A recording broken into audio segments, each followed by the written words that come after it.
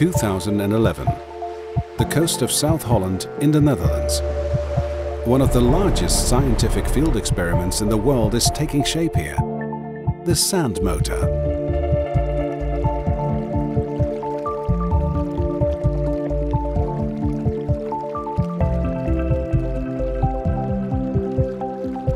The sand motor consists of 21.5 million cubic meters of sand.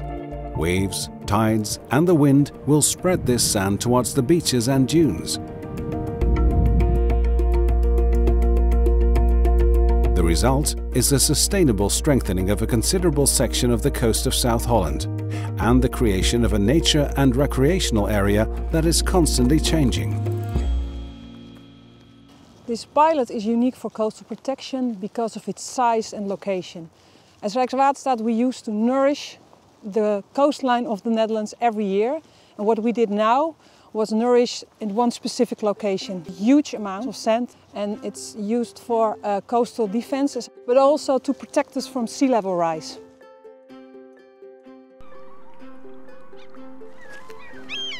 Besides coastal protection, the knowledge we gain here is uh, very important. With all these data, we try to gain more knowledge over this specific pilot.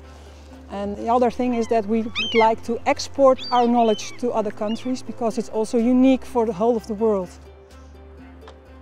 What is striking in this area is that the sand motor is really dynamic. What you can see is that it was made as a peninsula shaped uh, form and now it's stretched. Sand transportation is gone to the north and to the south, so it's a more stretched form now. For natural aspects is that you can see that different birds are coming to the sand motor and also seals are spotted. And uh, for the recreational aspect, you can see that a lot of kite surfers love to come here, especially during summer.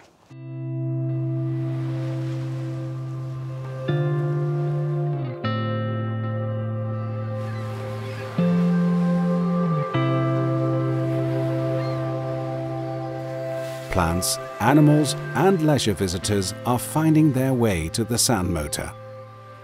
Scientists from a range of universities and research institutes are keeping a close eye on the changes in the sand motor. They are monitoring the currents, the distribution of sand, flora and fauna, bathing safety, dune development, groundwater, recreation and also the administrative implications of a project like the sand motor. The sand motor is being followed and monitored and evaluated in two phases of five years each. The first five-year period will end in 2016 and the final evaluation will be done in 2021. We are very interested in the ecosystem development. Uh, so biotic research is one of our priorities. We also look underground. We look at the groundwater. And last but not least, the dune formation is a super interesting thing vegetation uh, that develops there, we hope can be unique.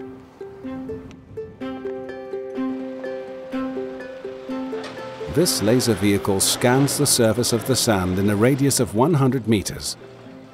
The vehicle drives at a speed of 20 kilometers an hour along the beach. The laser takes a picture 100,000 times a second, showing how the sand has spread since the last measurement. Morphological research is conducted using this 40-meter-high Argus mast, which is fitted out with eight research cameras that take photographs every 30 minutes. Jet skis are also being used.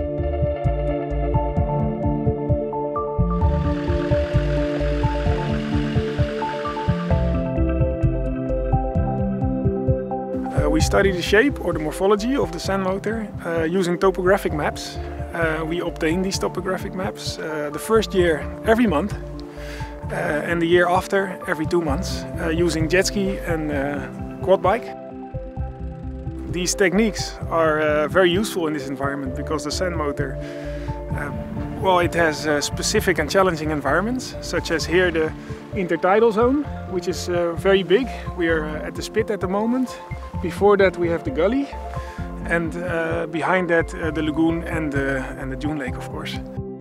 These topographic maps uh, give us an idea how the morphology of the sand motor evolves and how the sand is distributed on uh, short and long time scales.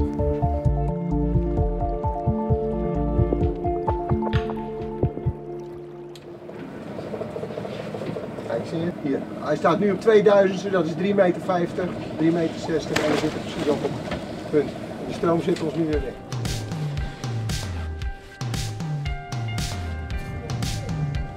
Simeon Moons is a doctorate student. He's looking at the animals living on the seabed such as shellfish, worms and other organisms.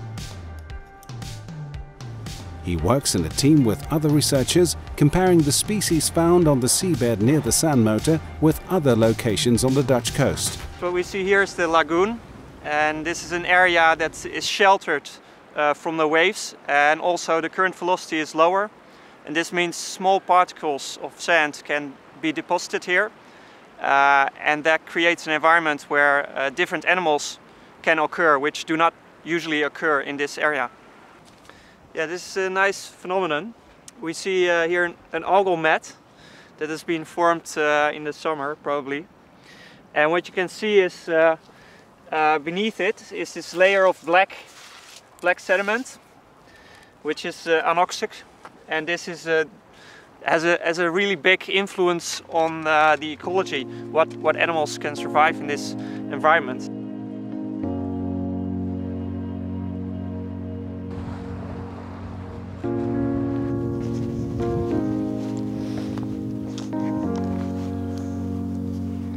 I measure the coordinates of uh, this little dune and draw it in a map so that I can compare the position uh, in different years.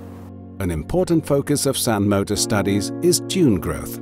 The dunes have a range of roles to play.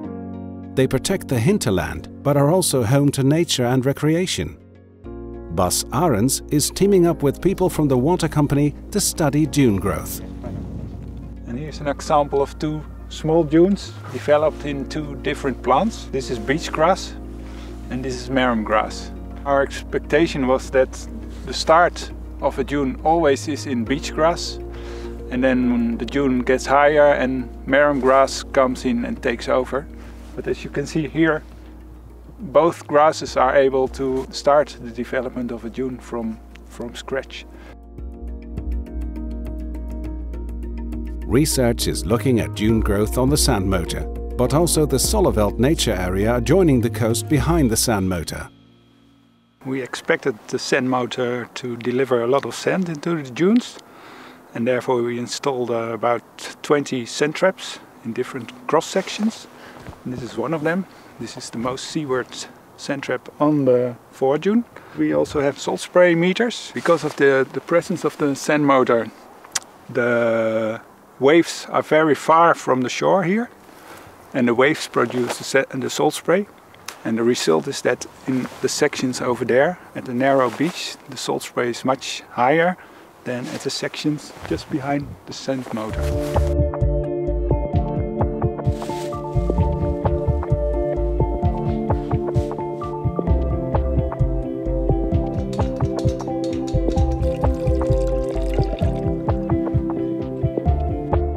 Expected to trap a lot of sand because of this very wide sand motor just in front of the sand traps. The amount of sand that's trapped here is very little and in the dunes, in the other traps, there's, there's virtually no sand at all.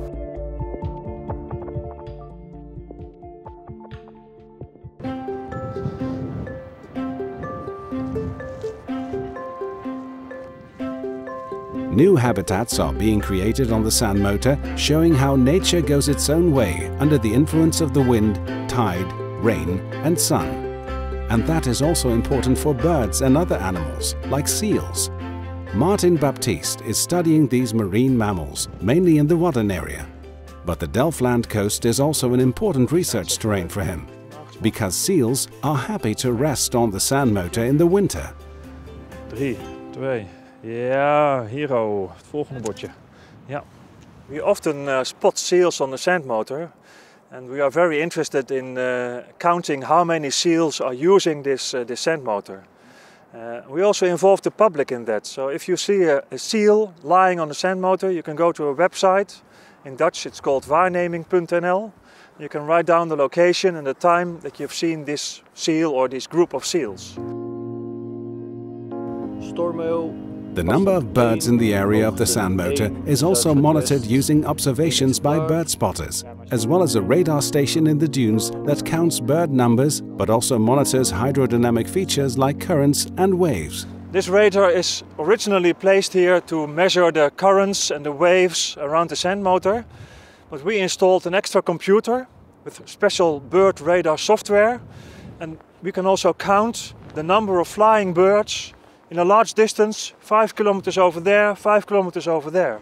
Hier gaat een mooie vliegpad. After a year we are going to analyze the data and to especially look for the differences in the number of birds that are present over the various seasons and also the difference in the number of birds present on the sand motor and on the remaining part of the beach where there is no sand motor.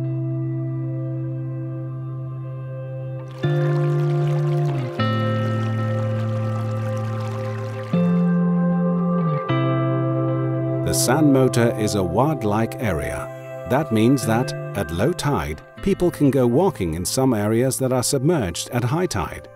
The sea currents have changed since the arrival of the sand motor.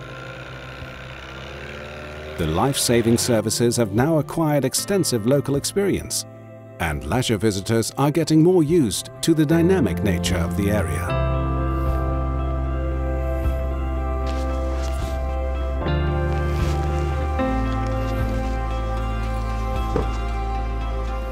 The summer it's packed with people, children are playing and they don't realize it's a special type of beach along the coast of South Holland. In the last two years we learned a lot about the safety about this beach and especially this channel over here. In the beginning it was a very strong current and I'm glad this summer, last summer, it was not so strong anymore and the safety is increasing. Emergency services are making grateful use of a specially developed app that shows them the currents around the sand motor. The lifeguards, for example, using the app so they can see in the morning what the current will do in the afternoon. And you can see the current, you can see the sandbanks and you can see also the weather. And that combination we're using to keep the safety on a high level. From the beginning we have uh, a special team, a quick response team um, that are volunteers of the lifeguard and when there are accidents along this type of beach they will respond immediately.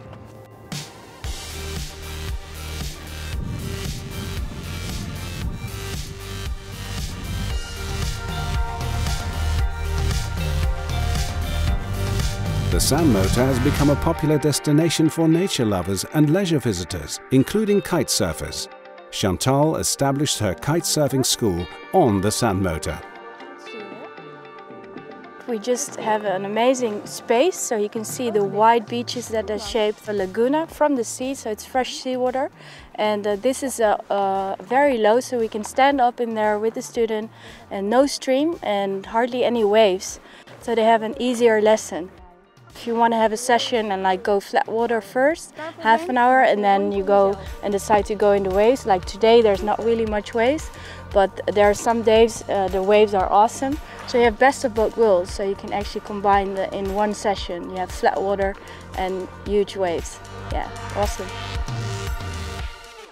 A scientific experiment for coastal defenses that also delivers a new nature and recreation area. Is this possible at several locations in the Netherlands? And perhaps even at several locations in the world? In any case, there is a great deal of interest from throughout the world in the results of this trial. Uh, the sand motor is of course an optimal solution for the local conditions observed here along the Delfland coast.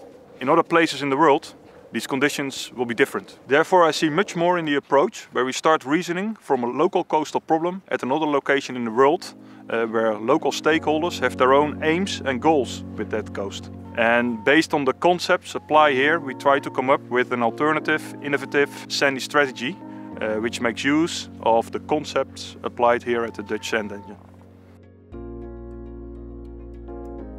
Two years after the creation of the sand motor, visitors from home and abroad are arriving to enjoy the beach, the nature and the sea there is considerable enthusiasm for building with nature, not only in the Netherlands but also in the rest of the world. we are continuing to monitor and study the sand motor to see how it develops. With the sand motor, the Netherlands is continuing to be innovative in water management by actually working with water instead of against it.